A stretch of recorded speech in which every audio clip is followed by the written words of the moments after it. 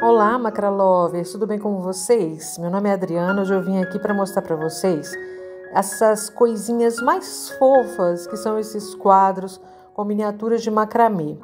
Eu ganhei esses quadrinhos, gente, e na mesma hora que eu ganhei, eu pensei, puxa vida, eu preciso fazer alguma coisa aqui e colocar macramê. E eu logo pensei nisso, de fazer miniaturas bem pequenininhas mesmo e colocar preso aqui dentro. Então era assim, ó, com essas florzinhas Aí o que, que eu fiz? Eu tirei esse fundo e comecei a reformar, tá? Já que eu tô fazendo tudo novo aqui no meu ateliê, eu falei, bom, essa é a hora da gente fazer.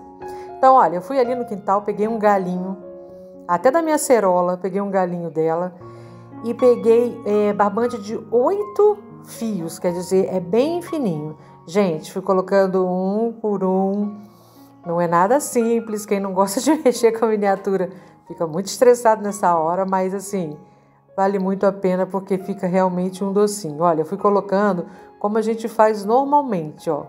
Fui colocando um por um nesse galinho que tá fazendo aqui o papel do cabo, tá?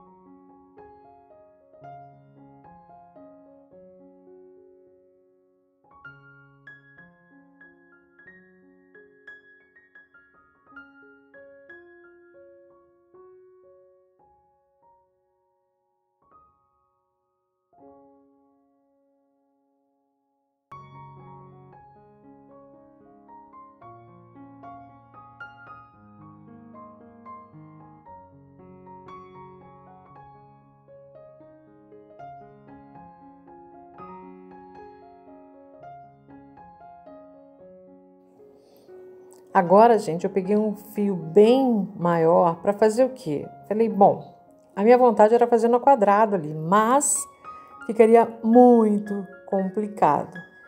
Eu sou toda grande, gente. Minha mão é grande, eu tenho 1,74m. Não vou falar meu peso, a gente, essa parte a gente abafa, mas eu sou toda muito grande. Então, para mexer com coisas pequenas assim, não é muito simples. Então, eu falei assim: eu não vou fazer no quadrado, nem o DNA aqui, não. Eu vou só fazer uma trancinha para parecer que é um ponto que está trançado ali na frente.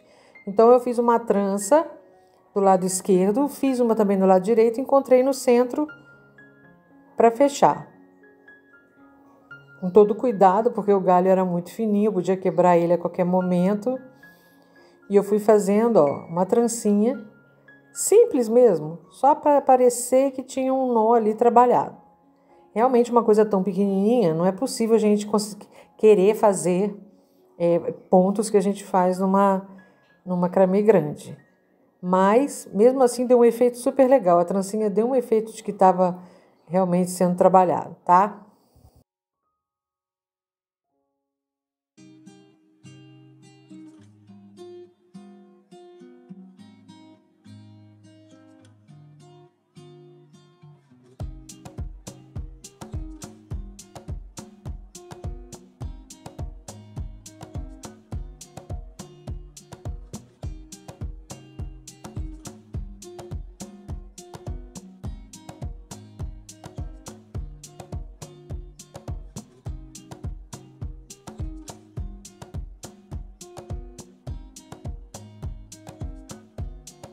Eu passei o fio algumas vezes para dar a impressão que é um nó escondido. Fechei com um nozinho simples, tá? Ó, e acertei aqui na frente. Já deu uma outra impressão. Cortei o excesso E agora, para complicar, complicar, um pouquinho mais minha vida, o que, que eu fiz? Falei, não, vamos fazer uma franjinha para aumentar isso aí. Que nunca a gente, a gente nunca faz um painel com uma camada só. Temos que fazer pelo menos umas duas. Então, o que, que eu fiz? Eu peguei um fio comprido e fui colocando mais fiozinhos, tá, gente? mais fiozinhos, um por um, um do ladinho do outro, para fazer uma franja.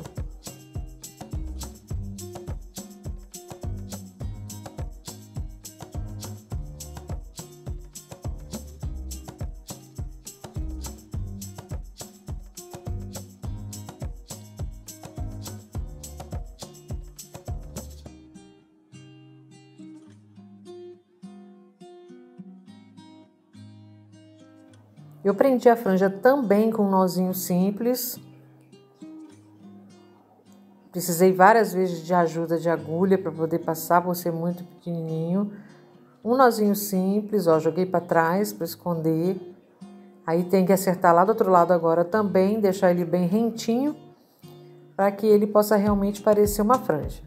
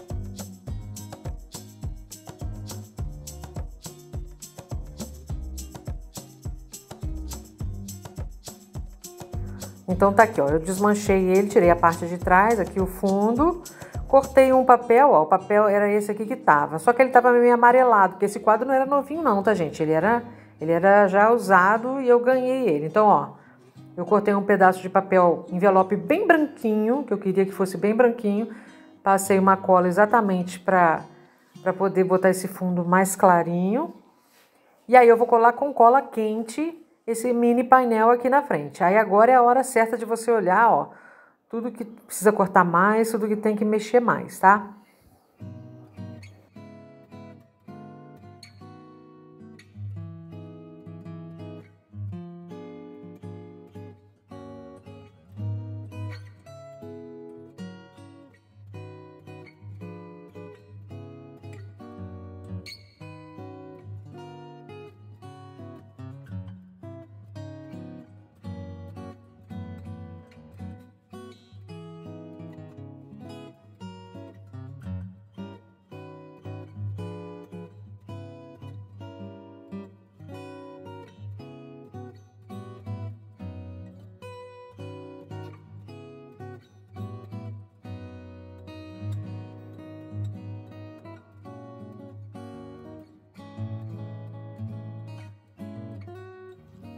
Fui acertando, ele estava um pouquinho mais alto, aí eu baixei um pouquinho, passei mais um pouco de cola.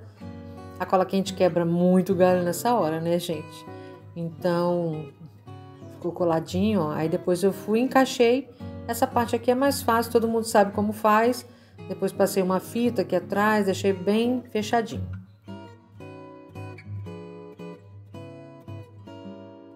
Nesse segundo, eu pensei em fazer uma coisa mais simplesinha, assim, tipo um nozinho quadrado torcido, um pedacinho de. Ah, é, é, não sei nem como explicar. Um pedacinho de pano, mas que mostrasse o nó quadrado torcido. Então eu falei, eu vou colocar alguns fios aqui, vou ver se eu consigo fazer, mas é difícil, né? Mas até que deu certo, gente.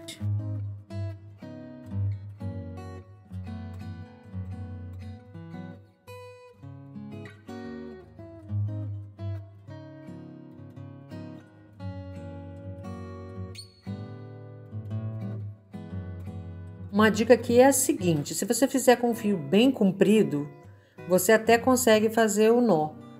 Tá vendo? Se você fizer com, com um fio muito curtinho, aí vai ser angustiante. Mas se você fizer com um fio bem comprido, você faz o nó quadrado bem mais lá embaixo e depois vai chegando até lá em cima. Essa é uma dica boa para se você falar assim, ah, mas vai ser impossível fazer qualquer nó tão pequenininho assim.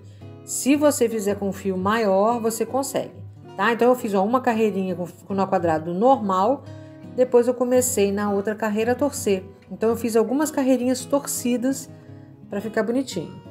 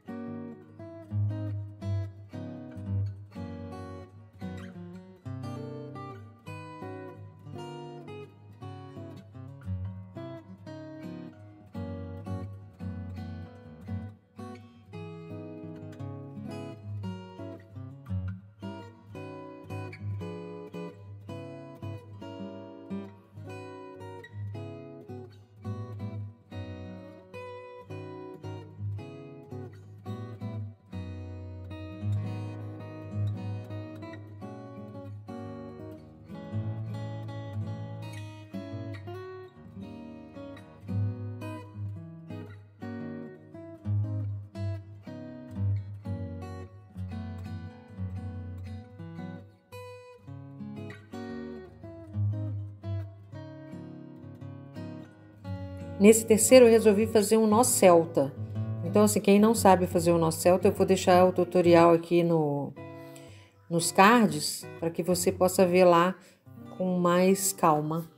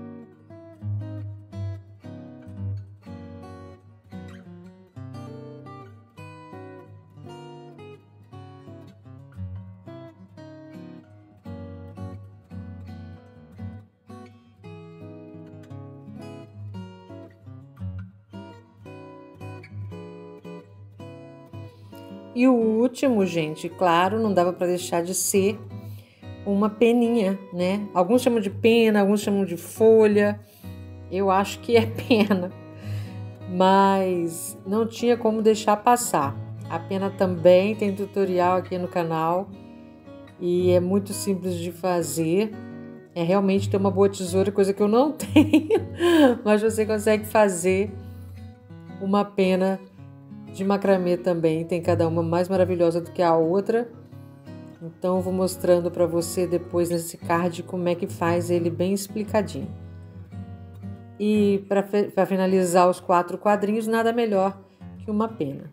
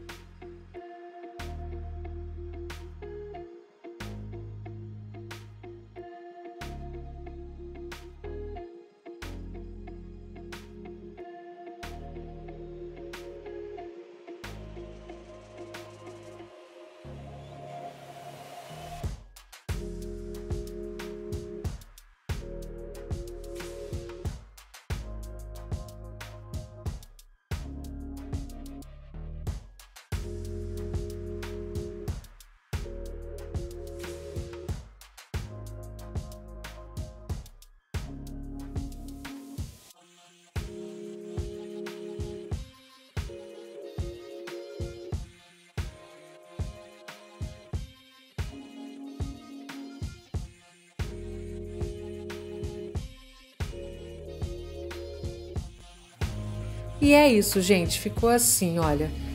Eu, eu realmente não trouxe uma videoaula hoje, eu trouxe simplesmente uma ideia de como você fazer de repente quadrinhos para decorar sua casa também com macramê, principalmente se você tiver assim quatro idênticos, pode ficar realmente um docinho. Esse aqui foi para deixar meu ateliê mais fofo do que já tá, tá bom? Um beijo para vocês, se inscrevam, fica por aí que tem muita coisa ainda. Gostou? Deixa seu like sem moderação. Beijo, fiquem com Deus e até breve.